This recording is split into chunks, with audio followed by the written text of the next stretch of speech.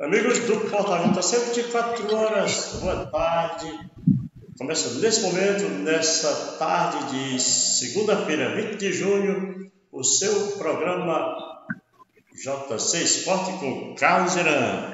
O melhor da comunicação esportiva na sua internet, seja computador, tablet ou notebook ou celular. Ele, o expoente da comunicação, Carlos Geran. É com você, meu amigo. Boa tarde. Boa tarde, boa tarde, JC, boa tarde. Internautas espalhados em todo o Brasil, alô do esportista, aquele abraço. A gente agradece aí o carinho a companhia de todos os amigos que estão aí ligadinho com a gente, espalhado em todo o Brasil. Aquele abraço. As informações do esporte hoje, nesse dia 20, dia especial. Hoje nasceu, nasci aí, meu primeiro primogênito, né? O Helder. Tá, tá normal, Costa Filho? Tudo normalzinho aí, chegando, o ar está no ar mesmo? Som, beleza, tá tudo beleza. E a gente vai aí para levar as informações, parabenizando o Helder aí, é o, o nosso jogueiro, desejar a ele aí muitos anos de vida, felicidade, muita tranquilidade para ele também, toda a família nessa data especial. Hoje, dia 20, hoje, nessa segunda-feira, nós vamos com as informações do esporte, em nome de Júnior Bocão Esporte. O esporte vai bem com o Júnior Bocão Esporte. Em nome também de São Jorge Super. São Jorge Super, um mix de opções para você. Cervejaria Samborá, a melhor PA. Ela tem chopp na cidade. Cervejaria Samborá é produção própria em Floriano. Em nome também de Dr. João Pedro, o médico amigo. Esse você pode confiar. Falei aí, doutor João Pedro. Em nome também de Quaresma História e Quaresma Motopeças. Vamos também em nome de Unicesumar. Aí, um mar de opções para você fazer sua graduação, pós-graduação. Procure Unicesumar em Floriano, no 99912 3132. Fale com Majarônio, com o professor Marcos Aurélio. Em nome também de JF Construtora, do amigo Jairo, lá em Brasília, mas está com a gente no JC Esporte, no melhor do esporte para você. Obrigado, amigos ligados com a gente em qualquer canto da cidade. Aquele abraço. Vamos começar o programa de hoje dizendo para vocês que a grande final do campeonato ou da primeira Copa Bets de Fute 6 foi um grande sucesso. Um monte de gente pagou 10 reais para assistir a grande decisão. Mas viu mesmo, foi um espetáculo do 83 Bets metendo 9 a 4, acredite se quiser, 9 a 4 nos bets. 83 bets, 9, 4 nos bets. Destaque aí para o Anderson, que mar marcou três gols. Numa tarde, numa tarde noite muito feliz, o Dallas viveu esse momento com o jogo preliminar, infantil, depois teve o, os Barcas e Botecos do Boleiro, os Barcas venceu 3 a 1, depois teve o desafio também onde o Edilberto Pikachu levou a melhor, né, ganhando aí. Depois veio a grande decisão, onde o 83 Betis não teve pena e nem dó dos Betis e meteu 8 a 2, dizendo que o artilheiro da competição foi o Serginho, o Serginho do Império Real, com 14 gols, e o goleiro menos vazado, o melhor goleiro da competição, foi o Manchinha, do time dos Bets. O campeão levou 3, 7 mil reais, o vice-campeão 3 mil reais mais premiação para por fora para o artilheiro também, para o melhor goleiro da competição.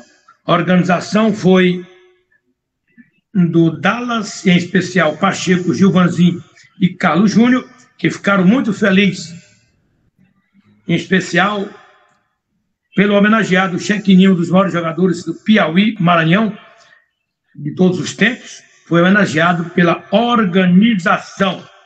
Aquele vídeo dá para passar aí agora, Costa Filho, o vídeo dos meninos comemorando o título deles aí, 83 betos. Mas eu estou tentando baixar aqui, Mas parece que não fica para amanhã, meu amigo. Mas quando tiver no ponto, você me dá um toque aqui, eu vou passando aqui as outras informações. Isso. Quando ele estiver baixando, quando ele estiver no ponto, você me diz, para a gente colocar pelo menos eles comemorando aí. essa grande conquista, foi a primeira de muitos outros que virão, se Deus quiser, porque foi esse primeiro foi muito sucesso. Premiando aí 10 mil reais né, para o campeão e vice-campeão, 7 mil para o campeão, 3 para o vice, parabéns Pacheco, parabéns também o Gilvanzinho e também o Carlos Júnior pela organização. Na Copa Peixe de Futebol, tivemos aí a quarta rodada. Tivemos aí lá no estádio Guarazão, às 16 horas, no dia 17, sexta-feira, Cruzeiro é, perdeu para Altamira, pelo placar de 1 a 0. Altamira 1, Cruzeiro 0. No dia 18, o Mucaitá não tomou conhecimento do Independente, meteu 3 a 0. E no sábado, jogo isolado, também às 16 horas, aliás, no domingo, tivemos aí o time do JR metendo 6 a 0 no River. Eita, River, viu? É, mas já, já temos uma nova classificação na tabela aí, viu? Tivemos aí é, o Altamira agora é o líder com 9 pontos, o JR está com seis pontos. Mucaitá com cinco pontos é o terceiro. O Cruzeiro vem com quatro pontos em seguida. O quinto é o River. E o sexto é o time do Independente, só tem um pontinho, tá? Então, esse é um campeonato muito bom, campeonato muito interessante, com a organização da Secretaria de Esporte do município de São José do Peixe. Passa todos os detalhes, Chiquinho, o nosso enviado especial lá da cidade do Peixe, são José do Peixe. Já no Campeonato dos Quarentões também já tem alguns times já classificados para as quartas de finais, mas ainda tem uma rodada amanhã para fechar a primeira fase. Sexta-feira começa o mata-mata. Tivemos no Campeonato dos Quarentões, na sexta-feira de 17, pelada dos amigos 1x0 no Seminovos. São Raimundo meteu 5 a 0 no São Paulo. São Raimundo é de São João dos Patos, minha gente? São Paulo de Barão de Grajaú. O Rogério marcou três vezes o Rogério, pedindo passagem para artilharia. O Rogério joga muito, viu, lá São Fez três gols dos cinco gols do São Raimundo. É, no domingo, às nove horas da manhã, no comércio, tivemos um jogo decisivo também, onde o Nordeste de Bola segurou sua classificação, vencendo por 2 a 1 um de virada os motoristas do Jorge Batista. Com esse resultado, a classificação ficou a seguinte: nós temos aqui os Barca na Xavier com oito pontos, quatro jogos, falta um. O Resenha com seis pontos, cinco jogos. O segundo lugar é o São Raimundo com sete pontos, tem quatro jogos. Falta mais um, que é exatamente contra os Barcas. Boteco dos Boleiros tem quatro pontos, mas só falta falta também um jogo, esse jogo será com o Chacrinha do Maurício também, que tem seis pontos. Então aqui é um jogo decisivo para o Boteco dos Boleiros, só interessa a vitória. Ganhando, despacha o Chacrinha. Vencendo, classifica. E o Chacrinha, pelo simples empate, passa para classificação, né? E se torna aí o outro classificado, porque o São Paulo já está eliminado Aí, nesse caso, o Boteco Boleiro também será eliminado. No caso de empate, só chega a cinco pontos. O Chacrinha vai para sete pontos. Esses jogos serão amanhã, minha gente, viu? Esses jogos serão amanhã lá no Comércio Esporte Clube. A bola vai rolar no jogão de bola, jogão de bola especial para o Boteco dos Boleiros, no primeiro jogo, enfrentando aí o time do Chacrinha do Maurício Bezerra. E o outro jogo será os Barcas de Barão de Grajaú enfrentando o São Raimundo de São João dos Passos. São jogos dessa terça-feira, última rodada do Campeonato dos Quarentões, na primeira fase, aí depois vem os classificados. Na chave B está classificado Pelada dos Amigos, que tem nove pontos, depois o Amigo do Narciso com sete pontos, tem em primeiro lugar o Nordeste Bola com dez pontos, é, segundo lugar, pela dos Amigos 9. Terceiro, Amigo do Narciso com 7. Temos aqui o Bragantino, é o quarto com 6 pontos. E aqui, já eliminados, seminovos e motoristas JB. Então tá aí, é, performance do Campeonato dos Quarentões 2022 no comércio e esporte Clube as informações do esporte. Ô, ô, Ô, Carlão. JC. Diga lá, irmão. Eu tô com um probleminha aqui no meu sinal. Eu o, tá fechando. É, duas vezes aconteceu, a câmera saiu. Não, mas é porque eu não estou vendo nem o sinal da, da, da do, do JC e nem você, entendeu? No lugar está eu. Não, mas na tela aqui, para o internauta em casa, está normal. Está normal, mas ele, ele não está segurando, ele está apagando, entendeu? Como é. que a página esteja aberta, fechada, entendeu? Já, já apagou de novo. Mas vamos lá, se está dando certo aí, eu vou botando, apertando o dedo por aqui, viu? Pronto. É a câmera que está apagando de vez em quando, saindo aí. Vai acontecer só duas vezes. Vamos seguir aí. Não, mas, eu, mas, eu vou ter cuidado aqui para não deixar sair. Eu vou colocando o dedo aqui para não apagar. Vamos lá. Mas, meus amigos, e falando de mais, de mais futebol, nós vamos falar aqui também que ainda está indefinido o início do Campeonato Florianense de Futebol e o Campeonato do Interior ontem teve início. Na Copa Sul do Interior, ontem tivemos um jogo e no sábado também tivemos um jogo no Mário Bezerra. No sábado tivemos aí o Celtic vencendo o Coringão pelo placar de 2 a 0 e o MEC, que é o Meladão Esporte Clube, venceu o Ajax pelo placar de 3 a 0. Foram os dois jogos que movimentaram no Mário Bezerra a quarta Copa Sul de futebol ali na comunidade Mário Bezerra. Estão cuidando já de ajeitar outro campo, para no final de semana já vai ter jogo também lá na comunidade Vereda. Aí sim vai ter os quatro jogos, dois, dois em cada campo, um no sábado, outro no domingo, em cada campo, foi o que explicou. O Hernandes, ele que é o diretor e organizador da Copa Sul de Futebol. Sub-20 do Coriçaba continua fazendo seus treinos quartas e sexta-feira no estádio Tibério Barbosa Nunes.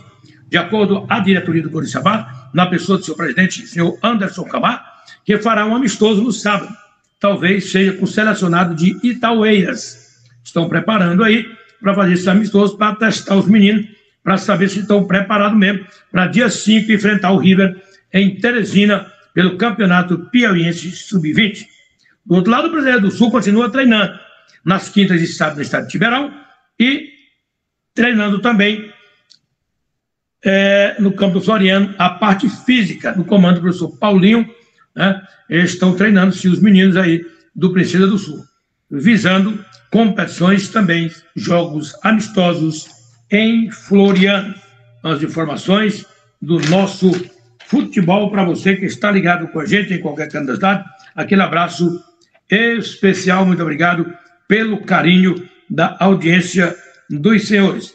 Ainda indefinido também, o início do Campeonato Florianense, está né, dependendo do Estado Tibério Barbosa Nunes, receber sua eliminação às normalidades. Aí sim vai acontecer o Campeonato Florianense de Futebol, que já foi definido os grupos, já foi definido a tabela e também os jogos de abertura da competição com a organização de Júnior Bocão Esporte Liga Florianense de Futebol. Ainda é definido ainda o Campeonato do Alto da Cruz. Vem aí o Campeonato Baronense de Futebol aguarde mais informações a qualquer momento. A gente está buscando as informações dessas competições. Muito obrigado a toda a galera ligada com a gente na cidade do interior. Aquele abraço especial. Muito obrigado pelo carinho da audiência. Já são 11 horas e 22 minutos. E a, meu dia e 22 minutos. Meu dia e 22 minutos. E as informações do esporte aqui, em nome de Júnior Bocão Esporte o esporte vai bem? Com o Júnior Bocão Esporte. 994517100 é o telefone do Júnior Bocão. Você quiser falar aí em, em assessoria de esporte, se você quiser organizar as suas competições, é só procurar aí o Júnior Bocão, que ele está sempre pronto para colaborar com o futebol de Floriano de modo em geral e região. São Jorge Super sempre tem um perto de você. Ganhamos agora o São José, o São Super aqui no Anel Viário. Esse você pode confiar. Tem um mix de opções para você. Unicés Mar, um mar de cursos para você escolher a sua graduação, pós-graduação, seu ensino superior com a Unicés Mar, que funciona presencial no Colégio Impacto. Cervejaria Samorá já está sendo fabricado, já está sendo distribuído o chopp de Floriano com a Cervejaria Samorá em Floriano. Doutor João Pedro, nosso médico, o nosso amigo do esporte. Quaresma História. Em Quaresma Motopeça, Quaresma História cuidando da beleza da mulher. Quaresma Motopeças cuidando da sua moto. Responsabilidade Joilson Quaresma. JF Construtora do amigo Jairo. Essa você pode confiar. Constrói prédios, residências, né? E também construindo aí qualquer tipo de atividade envolvido, envolvendo a construção civil. Um abraço aí, Jairo, e todos que fazem a JF Construtora em Brasília. Pois as informações do esporte para você que está ligado com a gente em qualquer canto da cidade, um abraço especial. Vem as oitavas de final do, da Copa do Brasil. É, meu amigo, já vai começar agora quarta-feira a Copa do Brasil, dia 22. E teremos aí Fortaleza e Ceará, às Fortaleza e Ceará às 19h30, clássico vovô, né? Bahia e Atlético Paranaense às 19h30, e dia 22, na quarta-feira. Castanhal e Santos, aliás, Corinthians e Santos, 21 e 30, Atlético Mineiro e Flamengo, 21 e 30. Na quinta-feira, na quinta-feira, teremos aí Fluminense e Cruzeiro às 19 horas, São Paulo e Palmeiras às 20 horas, que clássico é esse, clássico paulista na Copa do Brasil, Atlético Goianiense e Goiás, o clássico goiano, e ainda esses jogos serão todos na quinta-feira, tá? É, as informações aí para você que está sempre ligadinho com a gente, aquele abraço especial. Ainda tem ainda América e Botafogo. É, rapaz, são muitos jogos aí, viu? Quinta-feira, né? Também esse jogo do América e Botafogo vai ser numa quinta-feira, dia 30. Então, desejar boa sorte para o América e também o Botafogo. Copa do Brasil, destaque aqui também no seu JC Esporte. Vamos falar agora da Série A do Campeonato Brasileiro de Futebol, que marcou jogos no final de semana, de bons jogos, vamos também com a classificação. Tivemos aí Palmeiras, marido de nunca, né? Vamos para aqui o resultado dos jogos. Temos aqui Atlético Mineiro, Atlético Mineiro e Flamengo, dois para o Atlético Mineiro. O time do Atlético Paranaense ganhou do Curitiba pelo placar de 1x0, Corinthians 1x0 no Goiás. O time do, Braga, do Botafogo virou para cima do Internacional 3x2. Fortaleza 1, América Mineiro 0. Ou Fortaleza ganhou mais uma, né? E deu uma sacudida aí na poeira aí. O negócio tá nada fácil aí pro time do, do Fortaleza, não, viu? Atlético Goianiense ganhou 3x1 do Juventude, afundando muito mais ele Juventude. Fluminense 2x1 no Havaí. Opa, o Fluminense ganhou mais uma. E o São Paulo fecha hoje a rodada contra o Palmeiras num clássico espetacular. A classificação da Série A do Brasileiro, nós temos aí o Palmeiras líder, mesmo sem jogar ainda, com 25 pontos. O Corinthians chegou também a 25 pontos. Né?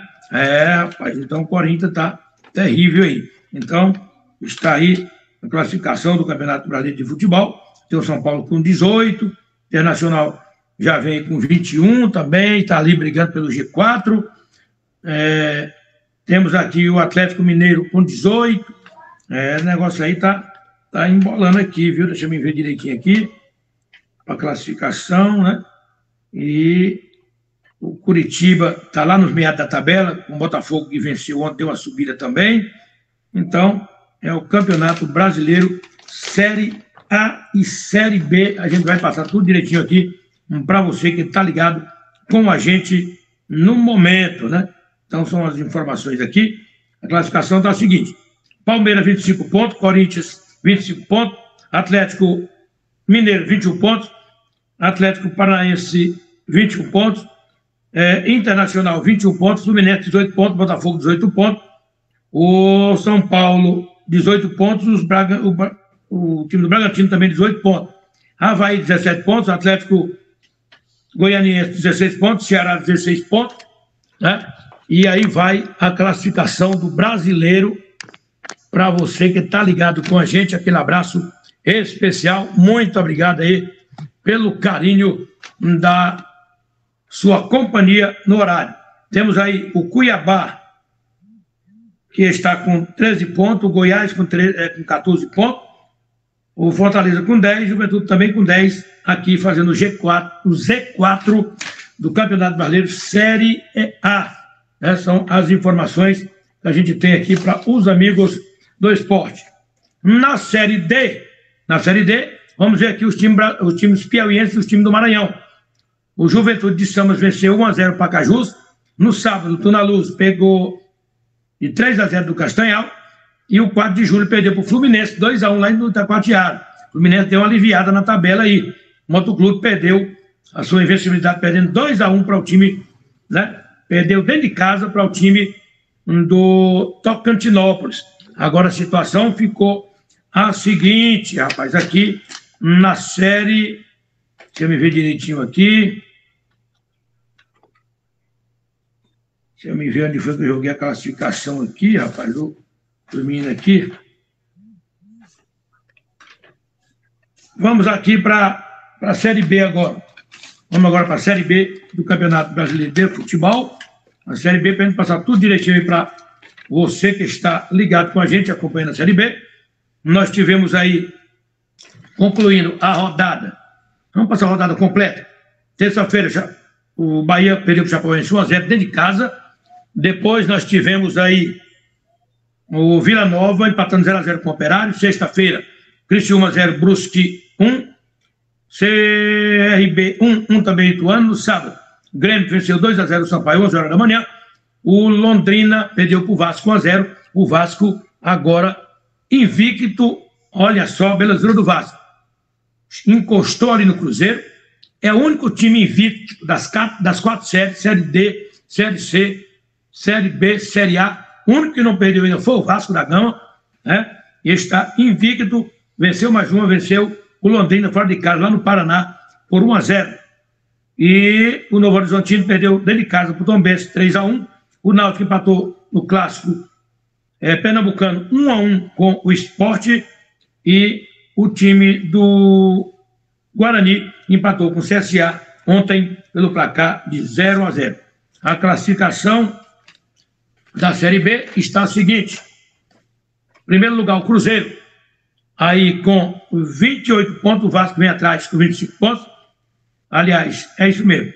O Vasco vem ali enrabichado aí no, no Cruzeiro, coladinho, né? Bem coladinho. E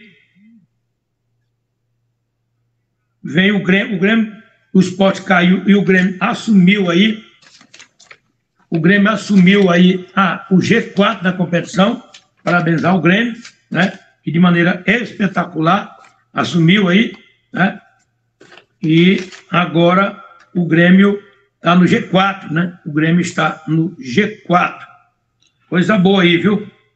Performance aí muito boa aí do time do Vasco da Gama e também do Grêmio. Agora ficaram os quatro primeiros aí. O time do do Cruzeiro, Vasco, é, o time do Bahia e o Grêmio. São os quatro que estão aí no G4 do Campeonato Brasileiro Série B. Na série, na série A, já tem lá liderando Palmeiras, mesmo, mesmo, mesmo Palmeiras, sem jogar, ainda é líder. O mesmo número de pontos que tem o Corinthians. Já na série C, Ufa, rapaz. O Altos ganhou do Remo de Belém do Pará, lá no Pará, meu. 2 a 1 um, com esse resultado, deu uma aliviada na tabela para o time do Altos. E nós temos agora a seguinte classificação: Mirassol é o líder com 23 pontos, Paysandu, 21 pontos. Nós temos aí também é, o Manaus, me vi aqui, o ABC, 20 pontos, Botafogo da Paraíba, 20 pontos. Figueirense, 18 pontos. Manaus, 17 pontos. O Volta Redonda, 16 pontos. Remo, 16 pontos. São José, 16 pontos. Ipiranga, 16 pontos. Olha como está a briga acirrada aí para entrar aí no G4, viu? Da Série C do brasileiro. Aparecidense, 15 pontos. Botafogo São Paulo, 14 pontos. Alves está com 13 pontos. Está na lanterna, tá bom demais. Já saiu, 14. É, Ferroviário, 12 pontos. Campinense, 15, 12 pontos. Vitória, Olha onde está o Vitória. 16 lugar, 11 pontos. Floresta, 10 pontos no Z4. Floresta. E o Confiança com 10. Brasil de Pelota com 9.